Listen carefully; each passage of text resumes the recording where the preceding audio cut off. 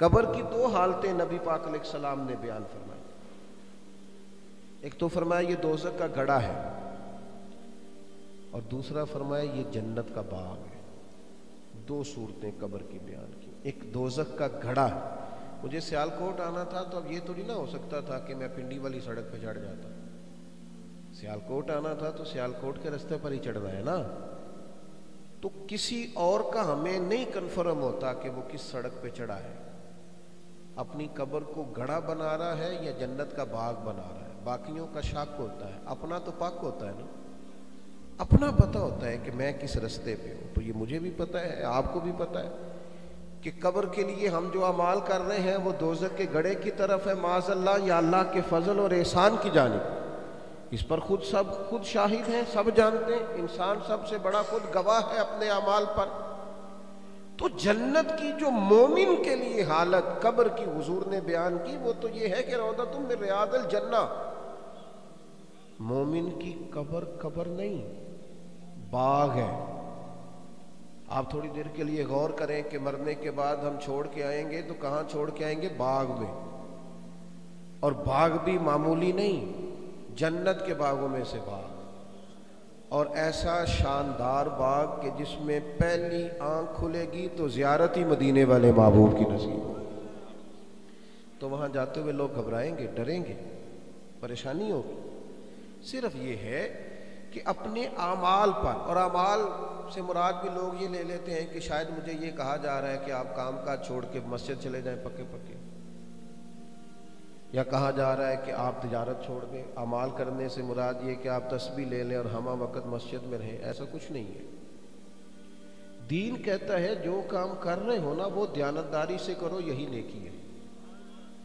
हजूर सलाम ने फरमाया, ताजर बस सच बोल के तजारत करे। उसमें झूठ शामिल ना करे, धोखा शामिल ना करे करे तजारत ही। उसकी आखरत का मंजर ये होगा कि जो सच बोल के तजारत करेगा, अल्लाह ताला कयामत के दिन उसे नबियों के साथ जगह आता फरमाएगा। अपना काम ही ठीक करके करें, अपना काम। ही वो हमारा आजकल मिजाज है ना, हमारे मुल्क में जो काम सबसे ज़्यादा होता है, वो तबसरे करने का है। बहुत ज़्यादा होता है। और उसमें हम बड़े सारे, मुझे तो कभी कभी शक होता है कि शायद सहाफ़ियों में पहला नंबर ना आ जाए हम सब। का सारे ही सहाफ़ी सारे तबसरा कर रहे हैं। सब के पास ही अंदर की खबर है। सारे कहते हैं, तेन नहीं पता, मैं तेन दस ना असल गल की सब के पास ख़ास खबर है। मेरी तरह का बिल्कुल अनाड़ी आदमी भी कहता है, मैं पते की बात बताता हूँ, भला होने क्या जा रहा है? सब खबरें। इससे क्या नुकसान होता है? इसका नुकसान हमें ये हुआ है कि हमने दुनिया में अपनी सूरत बिगाड़ ली। जब खराबियाँ ही सिर्फ़ बयान होंगी तो दुनिया क्या सोचेगी? कोई खैर का आदमी नहीं। तबसरों पे वक्त गुजारेंगे और फिर ठीक किसको करना चाहते हैं? सामने वाले को, अपने आप को नहीं। या अल्लाह फरमाते हैं, ईमान वालों, अपनी जान की तो फ़िक्र करो। कुछ अपने ऊपर भी तो गौर करो। कुछ थोड़ी अपनी तरबियत पर लोगों को टाइम देते रहे। कुछ अपने आप को भी तो वक्त दो। अपने आप को भी तो जरा देखो कहाँ पहुँच गए। अज़ीज़ दोस्तों तबसरे नहीं, अमल। और फिर उसका तरीका ये है, एक दोस्त तबसरा करना चाह रहे थे मेरे साथ तो मैं कुछ तबसरे से बचना चाह रहा था उस वक्त तो तबसरे में बार बार आगे बढ़ रहे थे। मैंने कहा, आप क्या काम करते हैं? कहने छोटा सा कारखाना जूते बनाता हूँ। तो मैंने कहा, आप सारे मुल्क को छोड़, ताकि जो गरीब आदमी जूता खरीदे ना, उस बेचारे के कुछ छः महीने निकल जाए, उसे जूते का दोबारा खर्चा ज़रा कम पड़े। अपना अपना काम तो ठीक करके करें, सारी चीज़ें बेहतर हो जाएँगी। लेकिन हमें अपने काम से ज़्यादा जब दूसरे के काम की फ़िक्र होती है, फिर उसमें कमज़ोरी वाक़ होती है। इस्लाम आखरत का नक्शा दिखाता है और कहता है, तुम यहाँ बैठ के अमल करो आखरत के लिए। तुम यहाँ बैठ के जद्दोजहद करो अपनी जन्नत के लिए, अल्लाह की रजा के लिए। और जो काम करते हो, उसे सही करके करो। देखे ना, इखलाक से बोलना भी हुजूर की सुन्नत है। मीठा बोलना हुजूर की सुन्नत। लेकिन हुजूर की बड़ी सुन्नत सच बोलना सबसे पहली जो लोगों के पास आया था, वो ये था कि सादिक और अमीन है। ये सच बोलते लेकिन आज मीठा बोलना, मीठा तो बातों का तो आपको पता है, बंदा मतलब के लिए भी बोलता है। काम निकलवाने के लिए भी बोलता है। लेकिन कहा गया कि सच बोलना पहली सुन्नत है। मैं दोस्तों से अक्सर कहता हूँ कि मिसवाक से दांत साफ़ करना भी हुजूर की सुन्नत है। लेकिन मेरे दोस्तों, दिल साफ़ रखना भी मेरे नबी की सुन्नत है। तिरमिजी में मौजूद है, हुजूर ने फरमाया, ए अंस ए मेरे बेटे, तुमसे हो सके तो सुबह इस हाल में करना कि तुम्हारे दिल में किसी की अदावत ना हो। फरमाया, ये मेरी सुन्नत है, ये मेरा तरीका है। दिल के बोझ उतार देना, ये भी तो सुन्नत है मेरे अज़ीज़। अपनी आखरत के लिए कुछ फ़िक्र और फिर किस तरह? हमारे यहाँ तो अब सारे नेक काम जितने भी हैं ना, हमारी दीनी महफलों में भी अल्लाह के फजल से फ़ोटो उसी तरह खींची जाती है जिस तरह सियासी महफलों में खींची जाती है। कुल दसवां हो, चेलम हो, कोई चीज़ भी ऐसी नहीं जो कैमरे की आँख से बची हुई हो। यहाँ तो लोग दुआ भी मांगे तो तब भी ख्वाहिश होती है कि कभी तीन कैमरे वालों मिल जाए ना चारों जाने तो पता चल जाए आज मैंने दुआ की। इतनी चीज़ें हमेशा छुपाई जाती कभी किसी ने बाहर आके नहीं बताया कि मेरे घर में चालीस तोले सोना पड़ा है। कभी किसी ने नहीं बताया कि पचास लाख कैश अंदंती चीज़ है। वो तो बच्चों की पहुँच से भी दूर रखी गई नेकी को कीमती नहीं समझते। आखरत के लिए जखीरा ही नहीं करते। हज़रत उमर बिन अब्दुल अज़ीज़ बादशाह थे। जिस आदमी ने बहुत ज़्यादा काम करने होते हैं, उनको कई दफ़ा लिखना पड़ता है, याद नहीं रहती चीज़ें।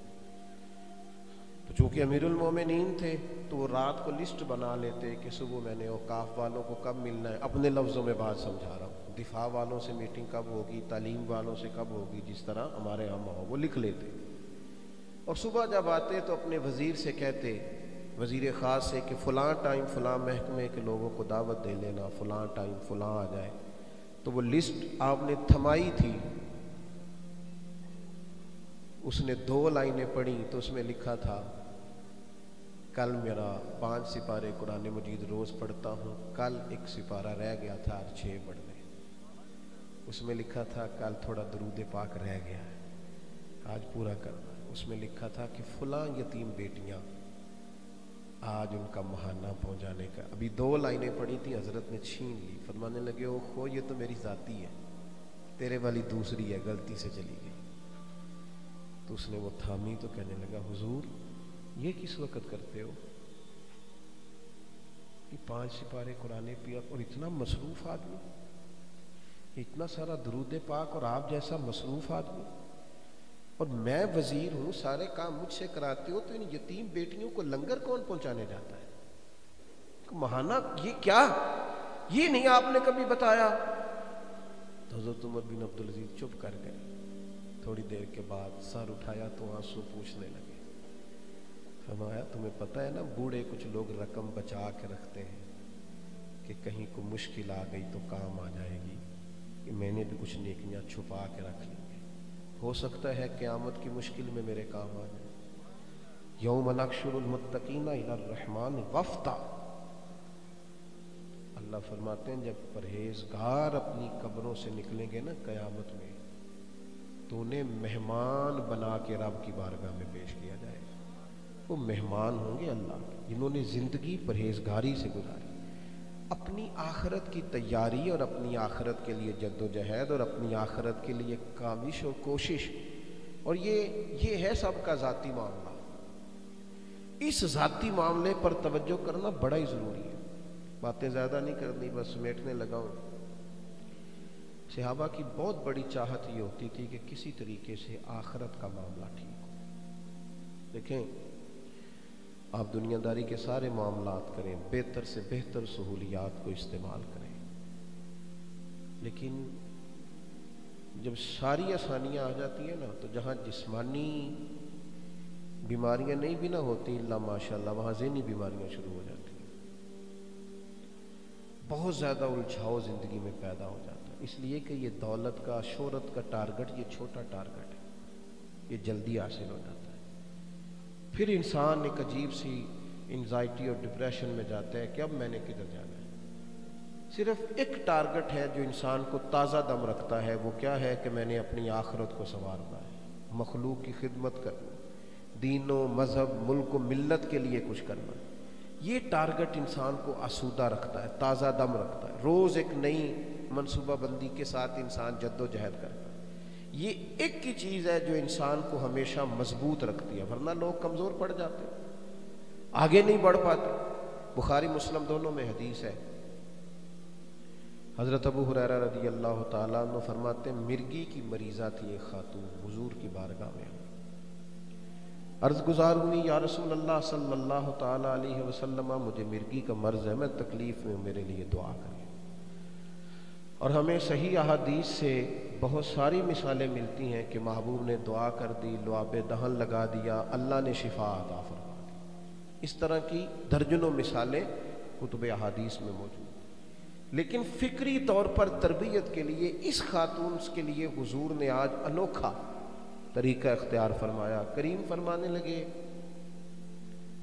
अगर तू कहे तो मैं तेरे लिए दुआ करता हूँ, अल्लाह शिफा अता